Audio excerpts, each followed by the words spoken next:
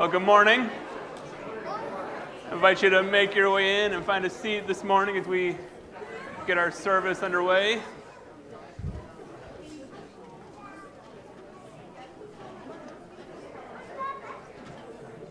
If you are new or you're visiting with us this morning, my name's Tim. I'm the senior pastor here at Three Lakes Evangelical Free Church, and we're just glad that you decided to make time to be here with us to worship our God together. Excited for this time to come together and, and praise God for all that He has done in each of our lives. So, thank you for being here. Uh, if you've been with us throughout the year, one of the things we've been kind of focusing on is memorizing uh, scripture. And so we've been using a program called Fighter Verses. And so if you've been doing that, the, the verse for this coming week is up on the screen, I believe. The week will be coming. So from Psalm 139, we've been kind of working our way through memorizing Psalm 139. So this week it's verses 11 and 12. And so if you've been memorizing that with us, um, that's the verse for this week. If you are new or visiting and there's anything you'd like the, the church to know about you or anything anything you'd like to communicate with the church, there is a, a connect card on the seat in front of you. We should invite you to fill that out. Any information you'd like to share with us, name, email. Um, if you have any prayer requests, we'd love to pray for you. Um, and those cards can go in the, the wooden boxes on your way out this morning that are on the back wall. Um, those, those wooden boxes on the back wall are also where uh, tithes and offerings can be, can be placed this morning. Just a couple of other announcements to bring to your attention. Um, one is that after the service, so 15 minutes after we wrap up the service this morning, we'll have our annual meeting. Um, just we will vote on the yearly budget. We will vote on some new members and some new leaders in the church. And so, if you're a member here, we'd really encourage you to be a part of that. There will be childcare downstairs as a part of that. If you have children, you can send them downstairs. They'll be taken care of. You can come join us for that.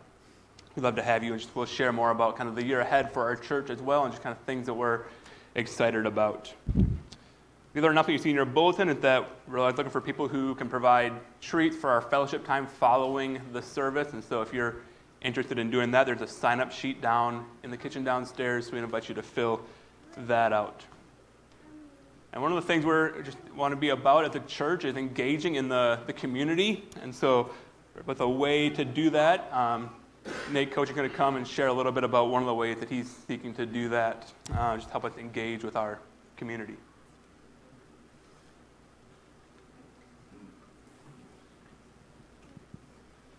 So, as many of you know, I um, run quite a bit.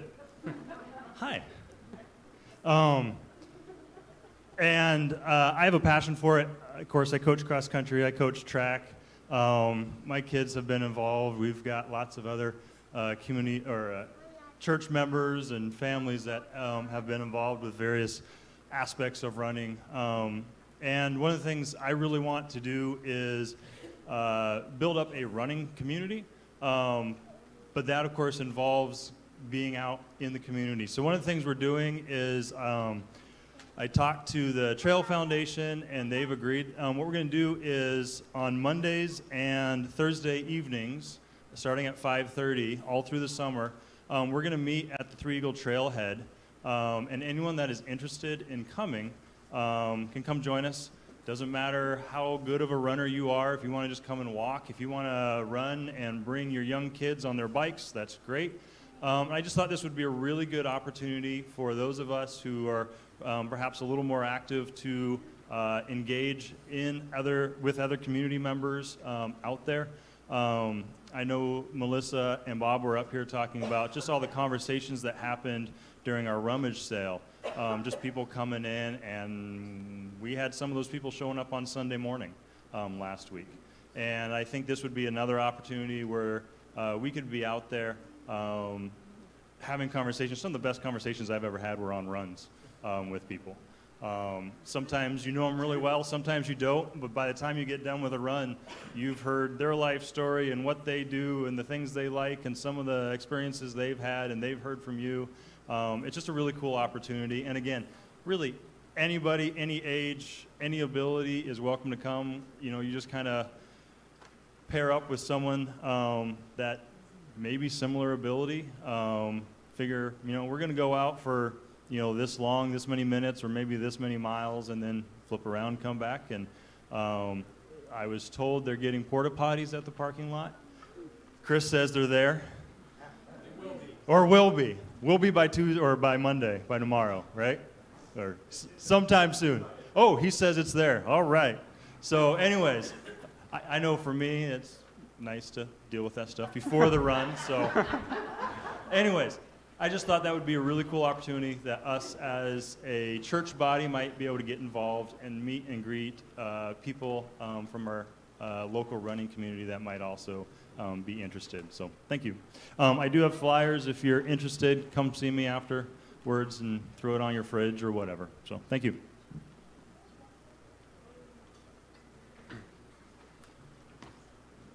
We're going to transition now into our time of, of worship through, through singing, but in order to prepare our hearts and our minds to do that, we're going to give you a chance to sit in silence for a few minutes to reflect on God and the, the God we're about to worship. So would you join me now in a, a moment of silence?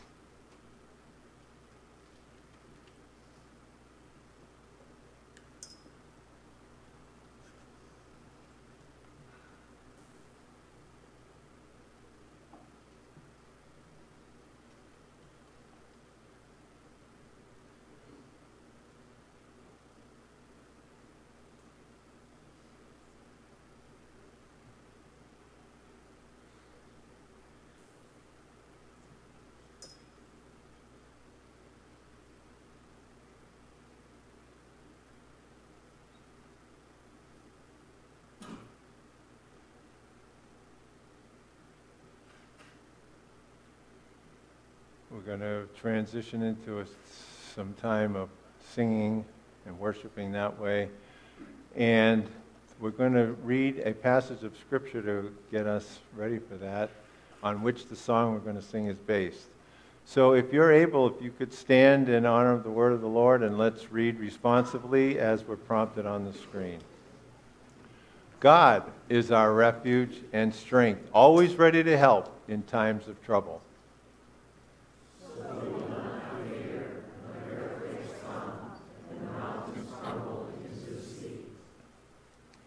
Let the oceans roar and foam, and let the mountains tremble as the waters surge. Be still and know that I am God. I will be honored by every nation. I will be honored throughout the world.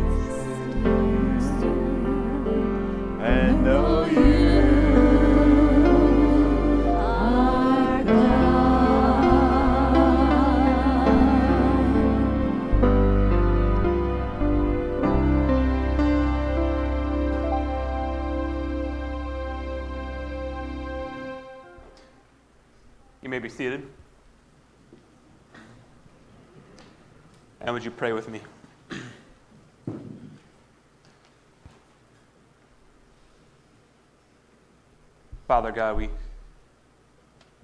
come before you now this morning, acknowledging and aware that you are God and we are not, that you are sovereign, you are king, and we are not, and that your ways are not our ways. And sometimes that can make life hard for us to grasp, can struggle to understand why certain things are happening. We God acknowledge and we pray that you would fill us with a trust that you indeed are God, that you have good purposes in the midst of all that is happening in our lives, even when things are hard and difficult. You are God. You are King. You are sovereign. You have good intentions, even in the midst of hard times. I pray that we come before you now, that we worship you, you would fill us with a, a deep and abiding sense of that truth. That even as we come in here heavy laden with burdens and facing various trials, that we could come and worship you as a good God who is worthy of all honor and glory and praise. Father, pray for us. That would be true. For those of us who are here this morning, who are hurting, who are in the midst of adversity, that you would reveal your goodness to them in ways that are hard to even comprehend. But you would give us a deep and abiding sense of your goodness, even in the midst of difficulty. Father, we thank you as well for all the good things in our life, for the joys of life that we often take for granted, for good weather and for good health and for all the good things you give us. We praise you for those. And as we continue to sing now, as we come to your word in a little bit, as we worship you together, as we fellowship together, pray that all that we do this morning would bring you honor and glory and praise. Pray it all in Jesus' name. Amen.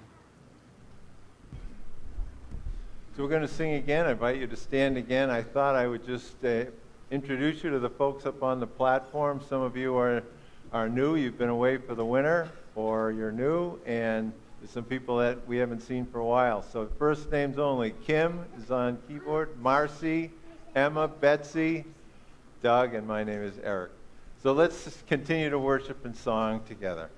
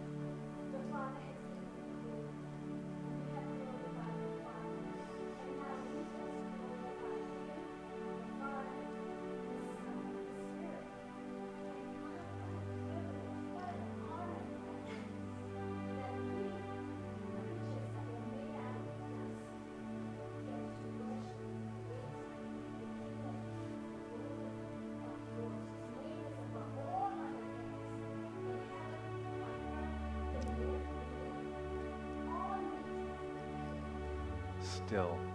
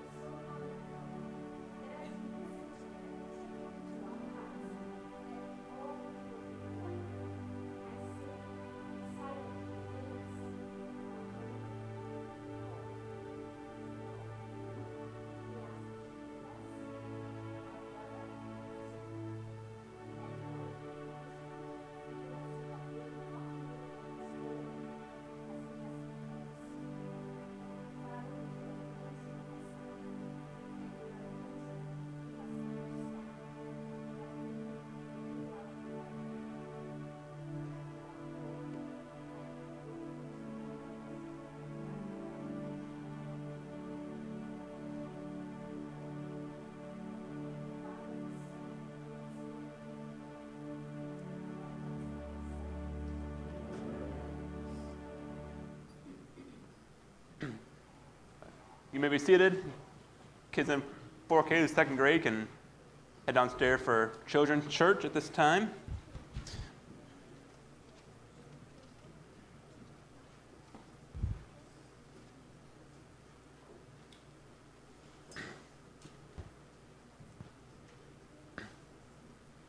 So in the, uh, in the 1998 movie Sliding Doors, the main character is this woman named Helen.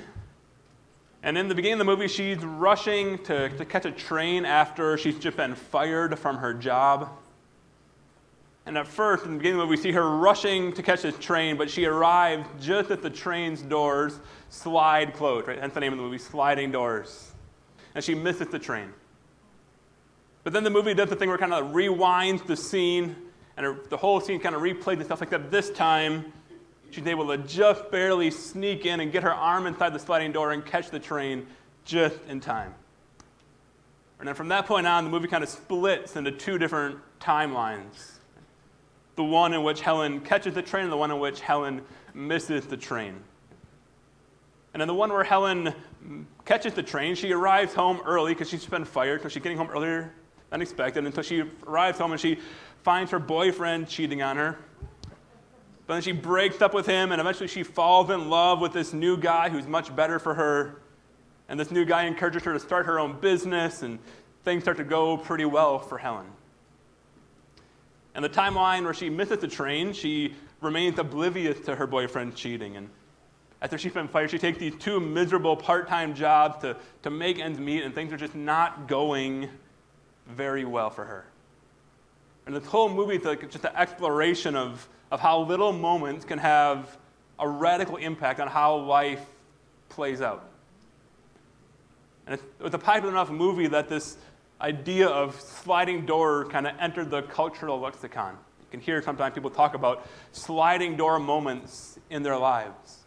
Moments that describe you know, how things may have gone differently if I had done this instead of that. And that's kind of something we all think about at one time or another. Like, what if I had done this instead of that? One that comes to mind for me is that, like, when I was a senior in high school, I was sure until like almost the last possible minute that I was going to go to UW, uh, Oshkosh. Like, I was like, sure, that's the rock going. I, I visited, I'd set, I was going to go to Oshkosh. At the last minute, I think because one of my friends had switched, like, to Eau Claire, I decided to go to UW Eau Claire instead. At the last minute, like 18 year old boy, was not thinking this through very thoughtfully, just kind of like, oh, my friend's going there, I'm going to switch to. I just like think about how different my life would be if I hadn't gone to Eau Claire, if I had gone to Oshkosh instead of Eau Claire. It was at Eau Claire that I met my wife, Vanessa. It was at Eau Claire where I became involved in the Navigator Christian ministry and began to take my faith seriously. Like my life would look way different if I had gone to Oshkosh instead of Eau Claire. Like, I definitely won't be standing here. And I would venture to guess, right, that you probably have similar moments in your life as well. Moments where you can look back and think, there's fork in the road moments. If I had done this instead of that, if I had taken that job or not made that move, or if I had done this instead of that, like, what would my life look like? It's interesting, right, to think about those things. But as interesting as they are, the Bible continually makes it clear that from God's perspective, there's really no such thing as these sliding door moments. This morning, we're continuing our series through the book of Ecclesiastes, and we're in Ecclesiastes starting chapter 6 this morning, starting in verse 10, and going through chapter 7, verse 17. And in this, in this passage, the, the, the, the teacher who's writing Ecclesiastes kind of make clear from the very beginning that there really are no sliding door moments when it comes to God. Verse 10 says, Whatever has happened was foreordained, and what happens to a person was also foreknown. Whatever happened was foreordained. Or in some of your versions, it says literally, like whatever has happened has already been named, it's already been spoken by God. This verse really kind of gets to the idea of what we call the sovereignty of God. This idea that God is sovereign, God is king over all, he reigns over everything, and nothing happens outside of his control. John Piper defines the sovereignty of God this way When we say God is sovereign, we mean he is powerful and authoritative to the extent of being able to override all other powers and authorities.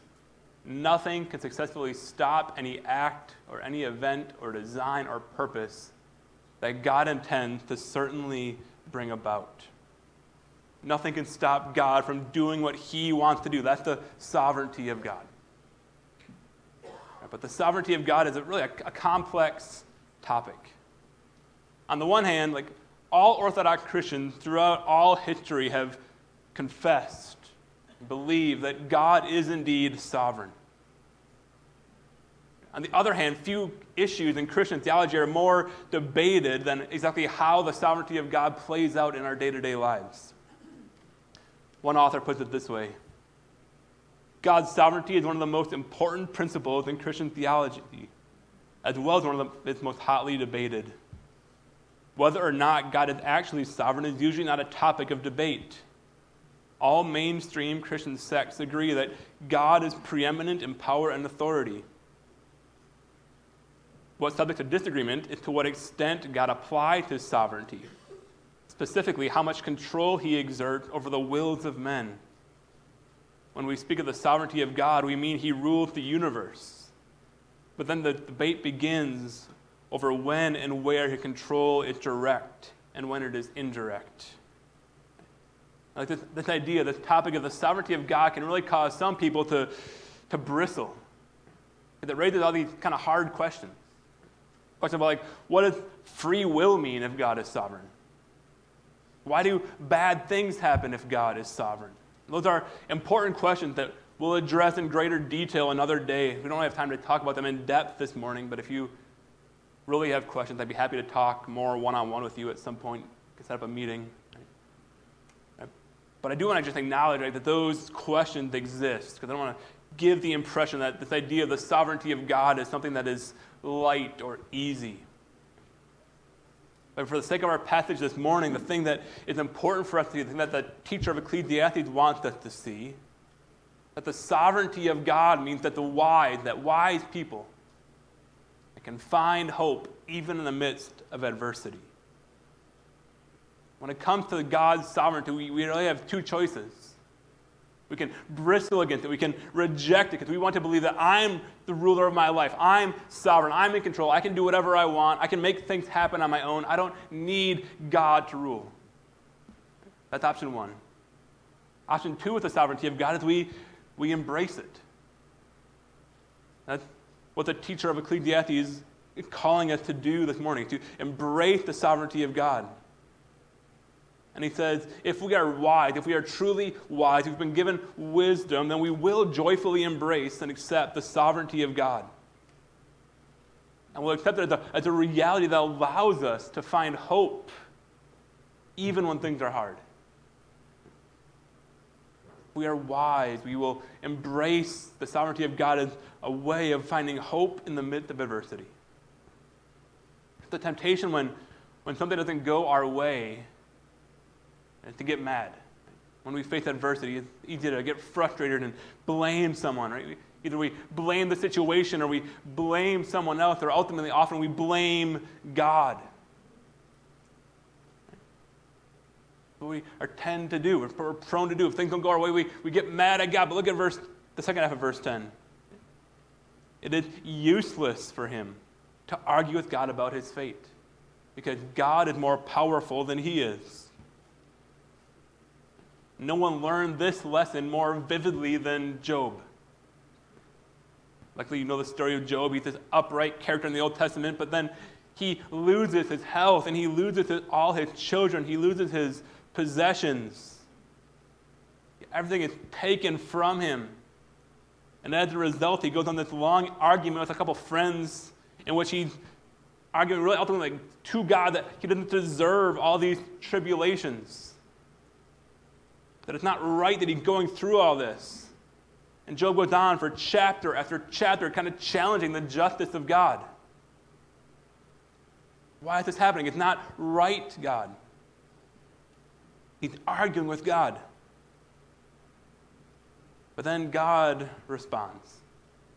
And over the course of four chapters, God proceeds to show Job the absolute futility of his arguments. Job discovers the truth, right, that it's useless to argue with God about fate. Just to give you a brief taste, this is how God's response to Job begins in Job 38. Then the Lord answered Job from the whirlwind Who is this that questions my wisdom with such ignorant words? Brace yourself like a man, because I have some questions for you, and you must answer them. Were you there when I laid the foundations of the earth? Tell me if you know so much. Who determined its dimensions and stretched out the surveying line? What supported foundations, and who laid its cornerstone?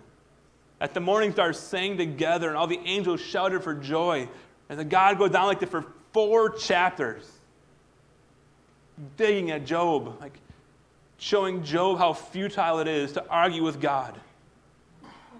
And finally, at the end of those four chapters, God pauses and gives Job a chance to respond.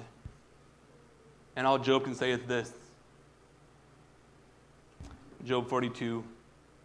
Then Job replied to the Lord, I know that you can do anything and no one can stop you. You asked, Who is this that questions my wisdom with such ignorance? It is I.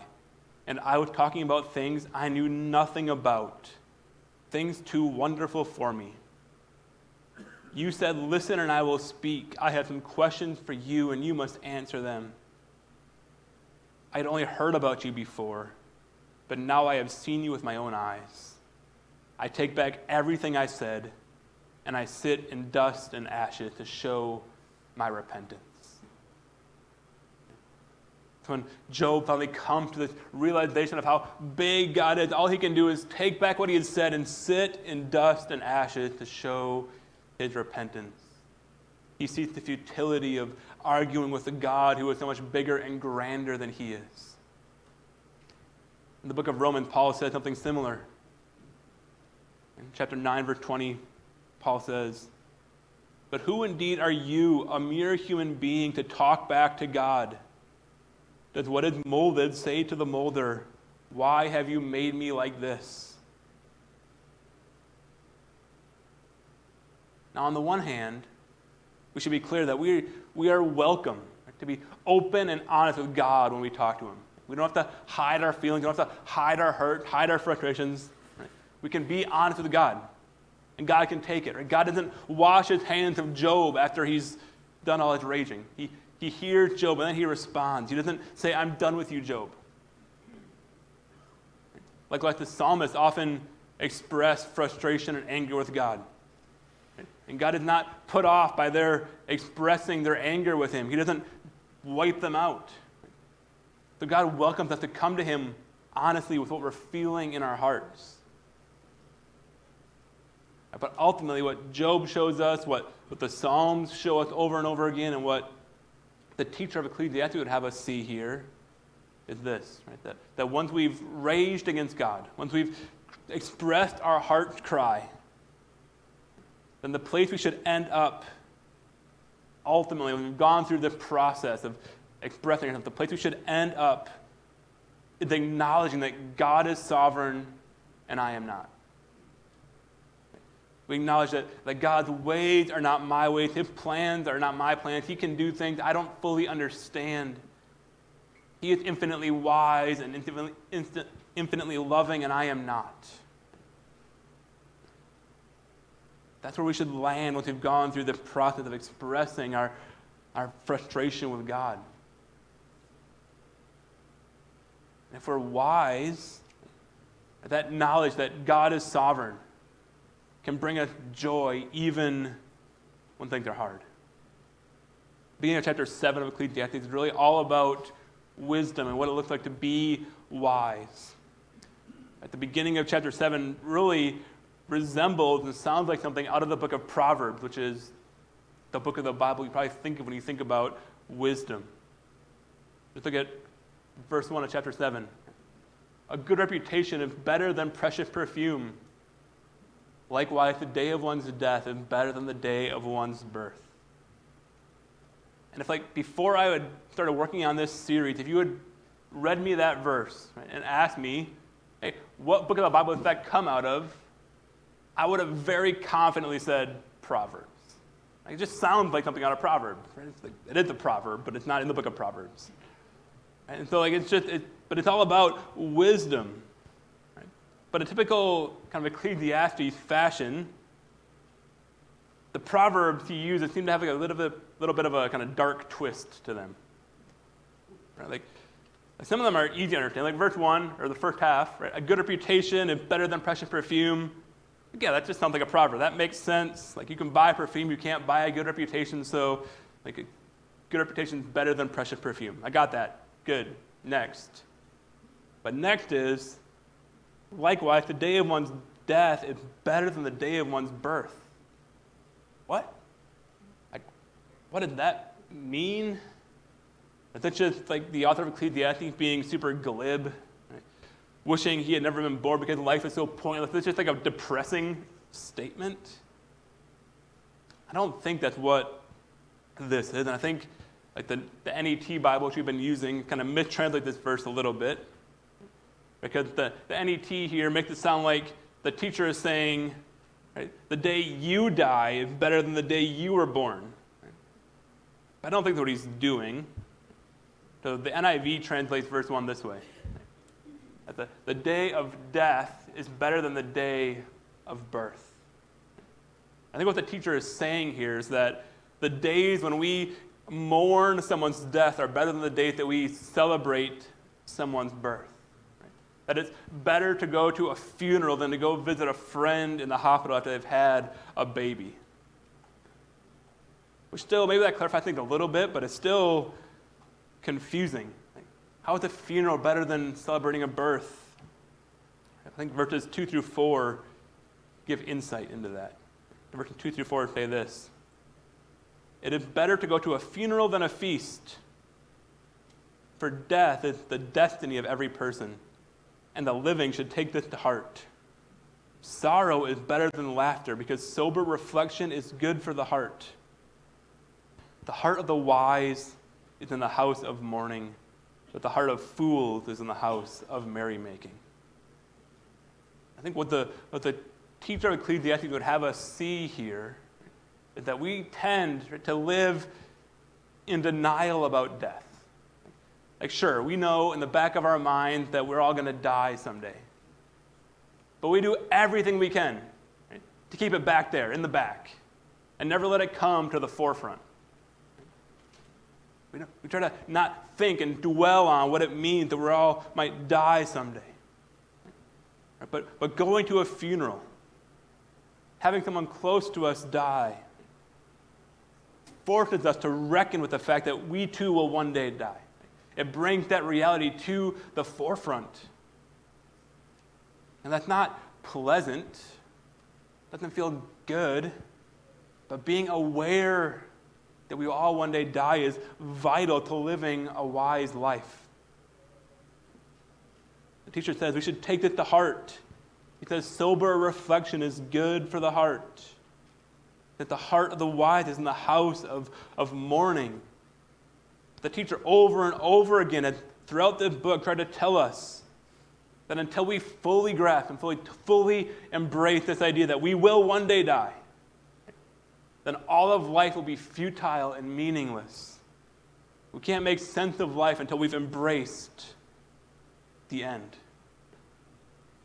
David Gibson, in his book Living Life Backward, which I've been recommending to people and a few of you have read, he, he argues that this is the whole point of Ecclesiastes to teach us how to live in light of the fact that we will one day die. And in the introduction to that book, he says this Ecclesiastes teaches us to live life backward. It encourages us to take the one thing in the future that is certain, our death, and work backward from that point into all the details and decisions and heartache of our lives. And to think about them from the perspective of the end. It is the destination that makes sense of the journey. If we know for sure where we are heading, then we can know for sure what we need to do before we get there. Ecclesiastes invites us to let the end sculpt our priorities and goals, our greatest ambitions and our strongest desires. I want to persuade you that only if you prepare to die can you really learn to live. That's what this passage is about. That's why the teacher says that the day of one's death is better than the day of birth. Why it's better to go to the house of mourning, the house of, of joy, because it teaches us. It brings the reality of death to the forefront so that we can work backward and live life in light of the end. One of the, the keys to wisdom is seeing life through the right lens. One of those lenses that we need to see life rightly through is the sovereignty of God. You will never be wise if you think that you, rather than God, are the one who's in control. But another lens we need to see rightly through if we're going to be wise is the lens of our own mortality. You'll never live a wise life. You'll never be wise if you don't live in light of the fact that you will one day die. That's the reason it better go to a funeral than to celebrate a birth. I think about the, these days of, of birth, and I think about the days that each of our five kids were born. I wouldn't trade any of those five days, right? They're some of the five best days of my life.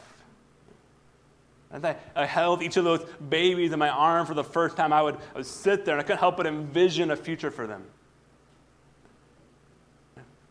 But always, my envisioning of my, the future for them was always falsely optimistic.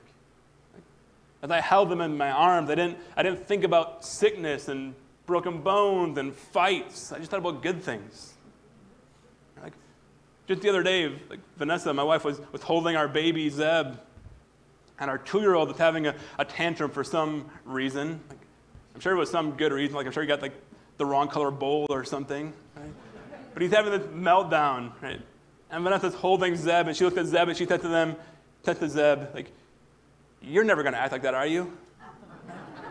like, and of course, she was joking, right? But, but babies and, and, and birth do have that effect on us that they cause us to see the future, to look into the future with this false, naive optimism. Right? But death causes us to evaluate life in, in light of the stark reality. There's no false optimism in death like there is in birth. And that, that reality produces wisdom. We see the flip side of that coin in, in verse 10. And the teacher says, do not say, Why were the old days better than these days? For it is not wise to ask that. So just as it's easy to look to the future when you hold a baby with, with naive optimism, it's also easy to look to the past and, and wish for the good old days and to see the past through rose colored glasses. I saw this post recently I don't know if you can see that very well. It's the good old days. And we said we used to be a proper country, and there's a, a McDonald's with a play place right next to a blockbuster. like, like those, those are the good old days, right? When, when things were simple. Like, so easy to pine and optimistically think about the past. And not think about all the trials we went through back then, but just to embrace and see the path through rose colored lenses. One example of that that I, often hear is, is something along these lines. Right? Like I said, we have five kids, and people come to me semi frequently and say something like, Man, like raising kids must be so hard today. When I was a kid, we could, we could run around on our own for, with our friends for hours unattended. We just had to come, come home when the street light came on. It was, it was great. We are so free, but, but these days it just isn't safe. You have to be so much more vigilant watching your kids these days. Oh man, those good old days, it was so fun and free to be a kid, but today it's, it's nothing like that. But in reality, like, the statistical data just doesn't fit with that narrative. Like, crime rates are lower today than they were in the 70s, 80s, or 90s. One of the biggest fears people have with letting their kids run around is that they're going to be like kidnapped by some random stranger who sees them playing alone. But according to the Department of Justice, there were only about 100 of these, what they call, quote, stereotypical kidnappings each year in recent years. And obviously, each of those cases is tragic. But that's 100 out of 72 million kids in America, which make the odds of any given kid experiencing that kind of kidnapping 1 in 720,000. One thing I read said, you're five times more likely to have conjoined twins than have a child kidnapped. As one author put it, if for some strange reason you wanted your child to be kidnapped by a stranger, how long would you have to keep them outside unattended for this to be likely? And they crunched the numbers. It's 750,000 years. I don't have that kind of time. Right? And this, this rate of kidnapping this, if, is not any higher than in the quote unquote good old days. Right? The rates haven't changed. What has changed is our access to 24 7 news that has a lot of time to fill. And we'll spend countless hours talking about each and every one of these 100 cases, and they'll make our awareness of them much higher until they'll seem far more likely. But there were no good old days when it comes to child safety. And that's what the, the author is, is saying here. Like, it's foolish, it's not wise to look back and pine for those good old days. And I'm not saying it's wrong to be aware of the possibility of, of bad things happening and to take sensible precautions. Like, that's good, it's wise. But I am thinking that it's factually incorrect to pine for the good old days. Right? To pine for days when, when kids were much safer. As the teacher of Ecclesiastes says in 710, right? Like, don't say why are these old days better than, why are, were the old days better than these days? It's not wise to ask that. Right? So, like, it's just not wise. Like, to have wisdom is to see things through an accurate lens.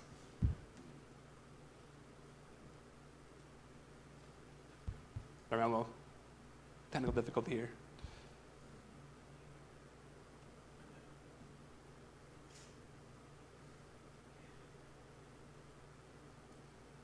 Right? So ultimately, wisdom right, it's, it's rooted in being able to see things as they really are.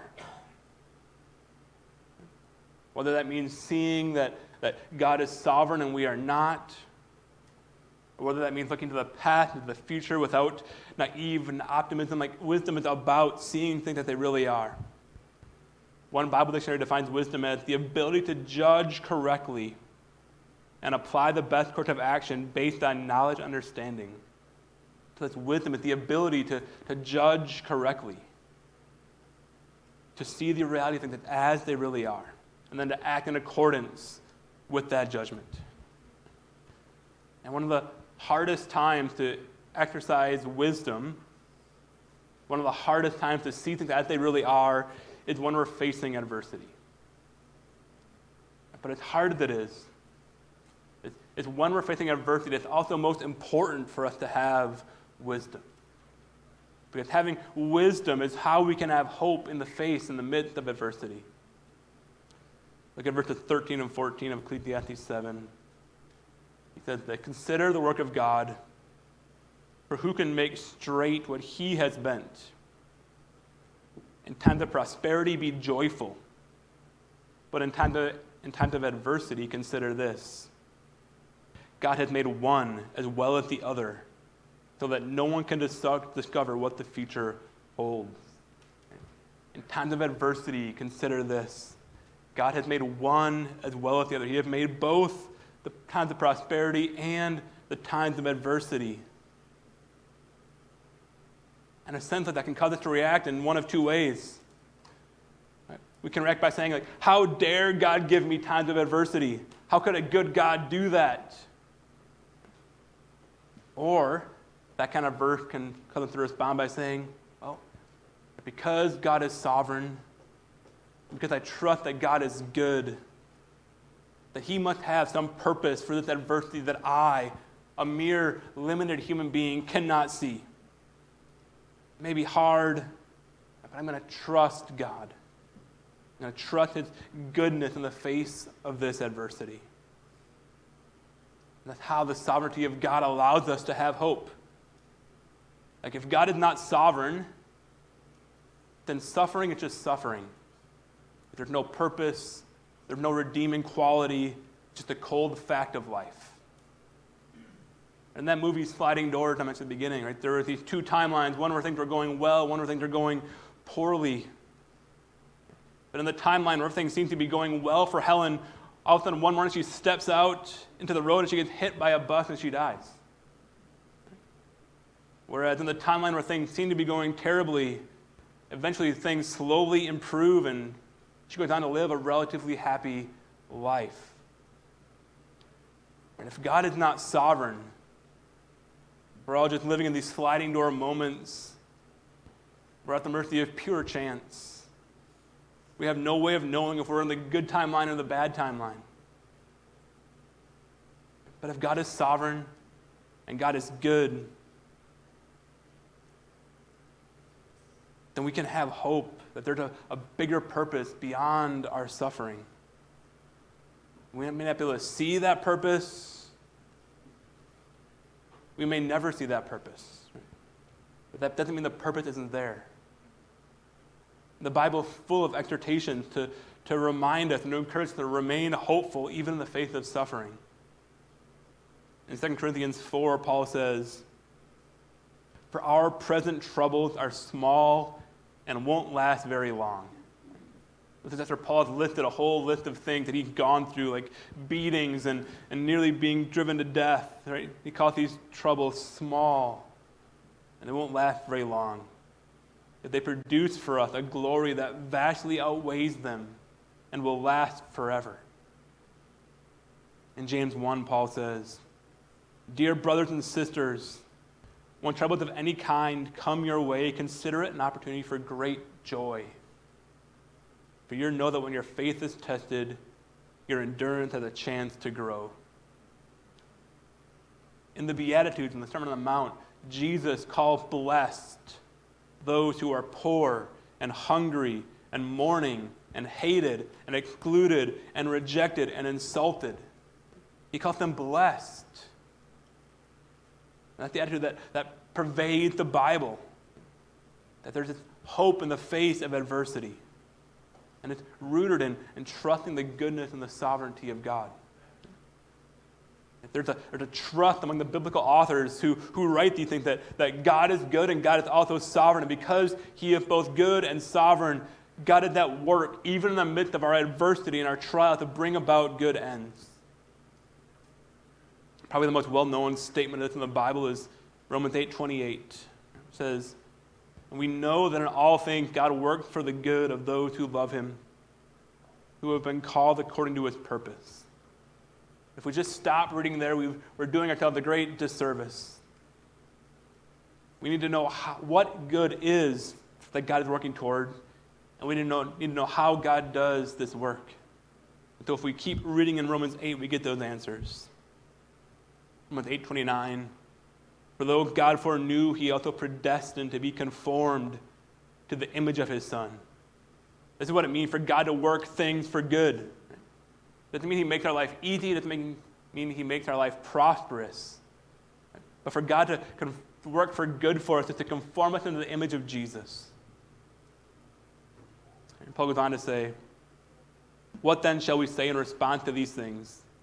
If God is for us, who can be against us?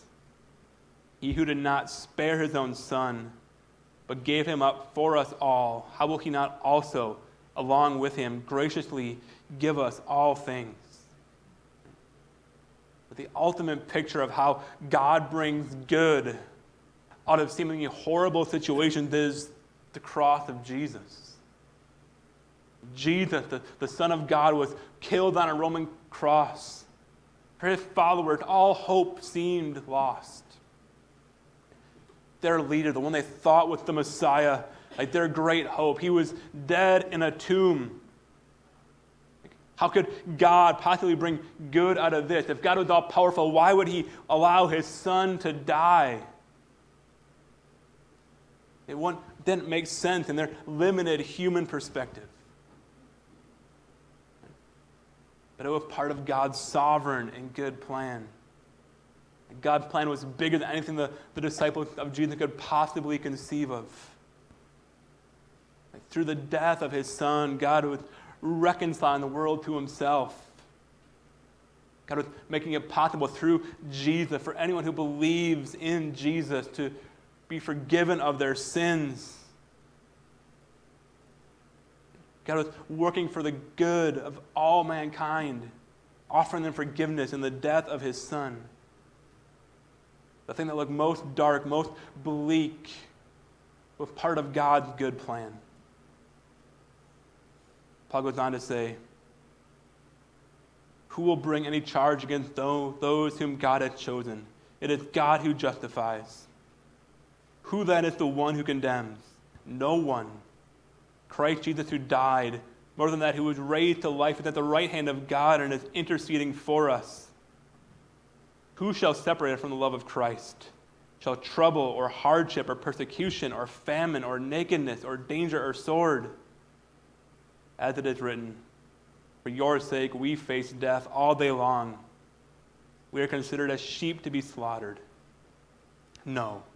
In all these things, we are more than conquerors through him who loved us. For I am convinced that neither death nor life, neither angels nor demons, neither the present nor the future, nor any powers, neither height nor depth, nor anything else in all creation will be able to separate us from the love of God that is in Christ Jesus our Lord. If you have placed your faith and trust in Jesus, you can have hope that no matter what comes, life or death, angels or demons, nothing, no amount of adversity can separate you from the love of God that is in Christ Jesus. You can have hope that one day God will resolve all things, redeem all things, make all things right.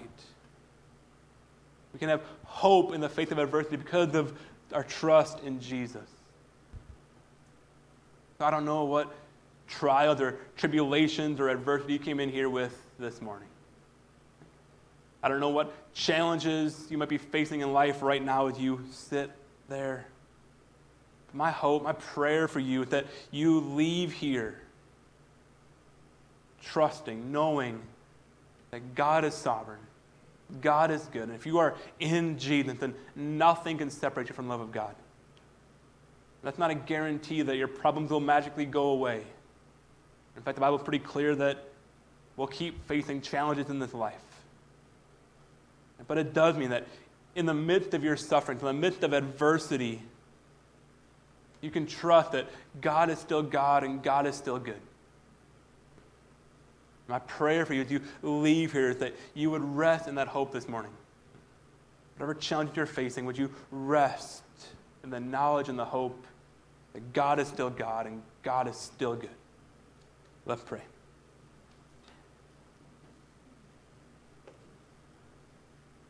Father, we thank you that you are God and we are not, that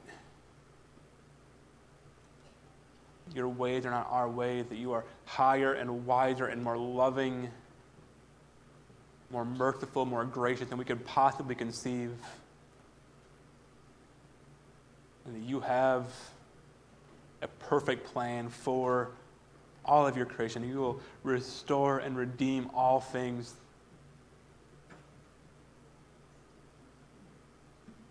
Thank you for Jesus for the hope he offers through faith in him that we can have eternal life and experience all your goodness one day. We thank you, Jesus, that you came and you suffered death, that you went through the greatest adversity to give us hope.